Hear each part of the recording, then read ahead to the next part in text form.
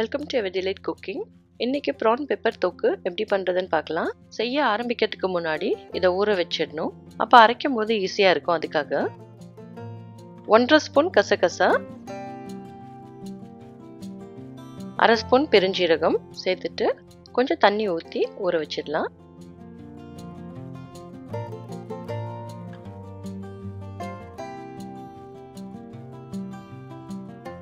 பேனில் நாலு ஸ்பூன் எண்ணெய் வெங்காயம் தக்காளி ரெண்டத்தையும் தனித்தனியாக அரைச்சிட்டு அதுக்கப்புறம் சேர்க்கணும். அரைச்ச வெங்காயம் ஒரு கப் சேர்த்துடலாம். வெங்காயமில் இருக்க தண்ணி எல்லாம் நல்லா ட்ரை ஆகணும். அந்த அளவுக்கு நல்லா வதக்கணும். ட்ரை ஆகிற வரைக்கும் கொஞ்சம் மூடி போட்டு வைக்கலாம். இல்லாட்டி வெளியெல்லாம் படும்.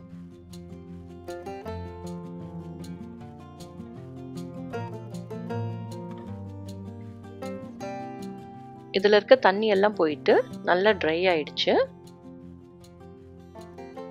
அடுத்தது அரைச்ச தக்காளி ஒரு கப் சேர்த்துடலாம்.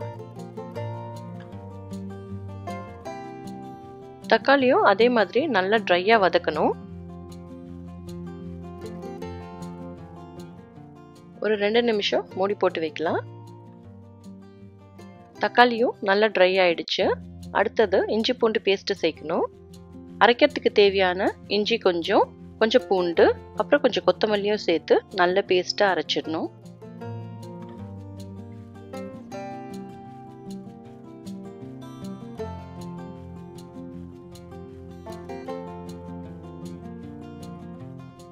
இஞ்சி பூண்டு பேஸ்ட்டு ரெடி ஆயிடுச்சு இப்போ சேர்த்துடலாம். நல்லா வதங்கிடுச்சு இப்போ எறா சேர்த்துடலாம். ஒரு கிலோ எறா இருக்குது இதை சேர்த்துடலாம்.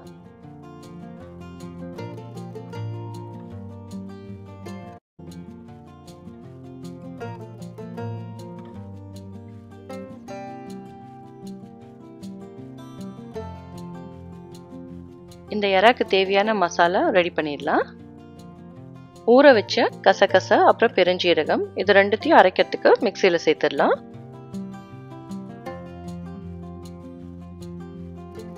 அடுத்தது ரெண்டு ஸ்பூன் மிளகு அரை ஸ்பூன் ஜீரகம் ஒரு ஸ்பூன் மிளகாத்தூள் அரை ஸ்பூன் மல்லித்தூள் கால் ஸ்பூன் மஞ்சள் தூள் சேர்த்துட்டு நல்ல பேஸ்ட்டை அரைச்சிடணும்.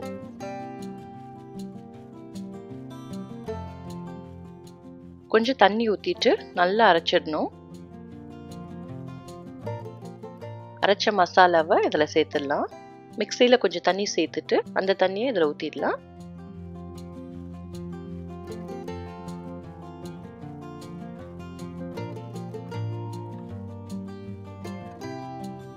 எல்லா ஏறாவும் இந்த மசாலாவோட நல்லா மிக்ஸ் பண்ணிட்டு கடைசியாக தேவையான அளவு உப்பு சேர்த்துடலாம். வேகிற வரைக்கும் மூடி வச்சிடலாம். கொதிக்கும் போது இந்த மாதிரி வெளியே படும். அதனால மூடி போட்டு வைக்கிறது நல்லது.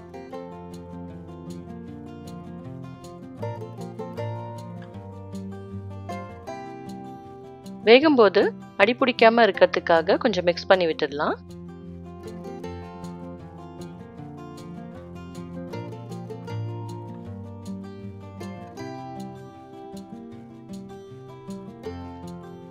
கொதிக்கிறதெல்லாம் அடங்கி எறா தொக்கு ரெடி ஆயிடுச்சு. இதுக்கப்புறம் மூடி போடாம கொஞ்சம் ஃப்ரை பண்ணணும்.